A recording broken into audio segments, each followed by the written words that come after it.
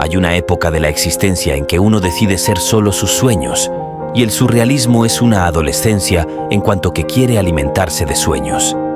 Hay una madurez, un clasicismo, a cualquier edad de la vida en que optamos por nuestra razón, por nuestro rigor, por nuestra estatura. ¿Qué más da?